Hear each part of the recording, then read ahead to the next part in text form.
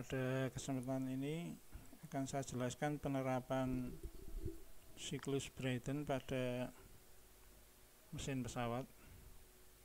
Tapi ini masih bekerja secara ideal ya. Jadi mesin pesawat dalam hal ini turbojet fungsinya adalah untuk menghasilkan gaya dorong. Di sini mesin turbojet ini terdiri dari eh, yang paling depan adalah diffuser atau disebut inlet. Berikutnya di yang kedua dari depan namanya kompresor untuk meningkatkan tekanan. Di tengah-tengah ini ada combustion chamber atau ruang bakar. Di sini terjadi pembakaran bahan bakar kemudian sebelum terakhir namanya turbin. Turbin ini untuk menghasilkan tenaga mekanik. Tenaga mekaniknya nanti dikirim ke depan untuk memutar kompresor ini. Kemudian yang terakhir ini namanya nozzle. Nozzle itu untuk memancarkan gas sehingga terjadi gaya dorong kemudian diagram prosesnya dalam TS diagram itu seperti ini. Proses satu kedua ini terjadi peningkatan tekanan sedikit dan kecepatannya diturunkan. Kalau secara ideal kecepatannya sampai 0 kemudian dua ketiga ini terjadi di kompresor terjadi peningkatan tekanan kemudian tiga keempat ini di ruang bakar. Terjadi pembakaran atau pemasukan kalor di sini. 4 ke 5 itu di turbin itu ekspansi gas sehingga menghasilkan tenaga mekanik yang dipakai untuk memutar kompresor. 5 ke 6 ini di nozzle ini juga terjadi ekspansi e, energinya dirubah menjadi energi kinetik berupa pancaran gas yang itu nanti akan menghasilkan gaya dorong pesawat. Kemudian persamaannya adalah F itu thrust atau gaya dorong. Itu adalah mass flow gas kali kecepatan yang keluar dikurangi mass flow udara kali kecepatan masuk atau karena mass udara dan gas itu sama bisa keluar jadi m dot dalam kurung kali V keluar min V masuk contohnya Newton. Kemudian daya propulsif itu adalah F ini kalikan kecepatan pesawat. Sehingga F nya diganti yang ini kali kecepatan pesawat satuannya kilowatt. Efisiensi propulsif adalah propulsif power atau ini tadi yang di atas dibagi dengan jumlah kalor yang dibakar di ruang bakar atau pemasukan kalor. Q in dot. Ini adalah efisiensi propulsif. Penggambarannya seperti ini. Ini adalah daya propulsif sama dengan eh, kelas kali kecepatan pesawat atau daya propulsif adalah kelas yang bekerja pada pesawat eh, dikalikan dengan kecepatan. Kita masuk ke penerapannya. Penyerapannya ini sebuah turbojet bekerja secara ideal ini dipasang di pesawat dengan kecepatan 850 feet per second kemudian pada satu ketinggian itu uh, udara tekanannya 5 PSIA temperaturnya min 40 derajat Fahrenheit nanti untuk perhitungan ini dikonversi ke Rankine. Kemudian pressure ratio atau perbandingan tekanan di kompresornya itu 10 temperatur gas keluar turbin. Eh masuk turbin ini ini 2000 derajat Fahrenheit. Kemudian M dot atau udara masuk ke dalam kompresor itu 1000 pound per second asumsinya adalah udara standar tentukan temperatur dan tekanan gas keluar dari turbin yang B tentukan kecepatan gas keluar dari nozzle dan C adalah efisiensi propulsif dari siklus. Ini asumsi-asumsi yang dipakai kemudian perhitungannya seperti ini. Ini ini sama dengan tadi. Ini proses diagram prosesnya. Ini temperatur masuk min 40 temperatur keluar dari ruang bakar 2000 kemudian eh, persamaan di satu kedua di inlet atau diffuser itu seperti ini energinya seperti ini kemudian V2 atau kecepatan keluar dari diffuser diasumsikan 0 sehingga nanti H itu adalah CP kali T sehingga persamaan seperti ini akhirnya diperoleh ini T2 T2 itu temperatur eh, sebelum masuk ke kompresor. Bersamanya ini T1 nya itu min 40 derajat Fahrenheit dijadikan Rankine, Rankine jadi 420 Rankine ditambah ini kecepatan pesawat per dua kali CP nya ini. Ini konversi ketemunya T2 adalah 480 Rankine jadi T2 lebih tinggi dari T1 karena terjadi ekspansi E. Kompresi ya. Ini peningkatan tekanan. Jadi udara tekanannya naik temperaturnya juga naik. Temperaturnya naik tekanannya naik.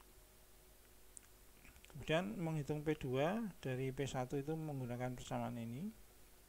K nya adalah 1,4 sehingga diperoleh eh, 8 PSIA jadi kalau masuknya 5 PSIA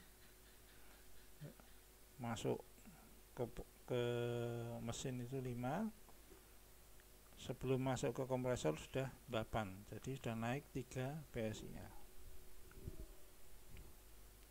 kemudian P3 ini adalah ini tadi apa ini? Kenaikan tekanan di kompresor tadi namanya eh, ini pressure ratio 10 itu. Jadi P3 adalah pressure ratio kali P2 10 kali 8 80 PSIA nilainya sama dengan P4 jadi pembakaran itu terjadi pada tekanan konstan. Jadi kalau P2 8 P3 nya 80 naiknya 10 kali karena dikalikan dengan e, pressure ratio. Kemudian T3 dihitung menggunakan persamaan ini. Persamaannya ya hampir mirip dengan ini. Tapi ini untuk kalau ini untuk P ini untuk T. Ya cuma diputar-putar aja atau dimanipulasi. Sehingga T3 nya ketemunya ini 927 derajat Rankine jadi kalau T2 cuma 480 T3 ini keluar kompresor sudah naik jadi 927 Rankine karena tekanannya juga naik di sini. Jadi di di kompresor itu udara ditekan tekanannya naik temperaturnya juga naik ini adalah temperatur sebelum masuk ruang bakar. Jadi sebelum e, terjadi pembakaran udara itu sudah panas ya. Jadi pembakaran itu terjadi bukan hanya karena fuel tapi udaranya juga harus panas. Kalau di sini tadi langsung masuk ke ruang bakar maka akan sulit terjadi pembakaran karena ini udaranya sangat dingin. Kemudian ini kerja kompresor nilainya sama dengan kerja turbin. Karena di sini di sini ini kompresor ini bergerak karena ada daya mekanik dari turbin jadi daya yang dihasilkan ini memutar kompresor. Semuanya ya semuanya. Dianggap efisiensinya ideal ideal itu 100% sehingga H3 min H2 sama dengan H4 min H5 jadi H3 min H2 ini sama dengan H4 min H5 jadi kerja kerja turbin semuanya dipakai untuk memutar kompresor. Efisiensinya 100% sehingga persamaannya seperti ini. Atau H itu adalah CP kali T sehingga ini sehingga diperoleh T5 adalah ini. Karena T4, T3, T2 itu sudah dicari semua sudah ketemu semua ini. T4 nya dari soal T3 nya ini T2 nya ini sehingga ketemu T5 yang ditanyakan di A 2013 derajat Rankine nah, P nya itu diperoleh dari ini ya rumusnya sama dengan ini. Sehingga ketemu eh, di sini sudah turun jadi 39,7 PSIA jadi P5 itu sudah turun dari 80 ke 37, eh 39,7 PSIA ini juga yang ditanyakan di A. Berikutnya adalah mencari kecepatan e, gas meninggalkan turbin eh meninggalkan engine. Kita cari T6 dulu pakai persamaan ini yang sama dengan di atas. Jadi kalau tekanannya 39,7 PSIA nanti temperaturnya bisa dicari sebesar 1114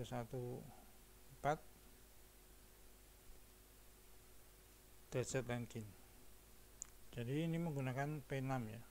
P6 itu udara luar. Yang nilainya sama dengan P1 5 PSI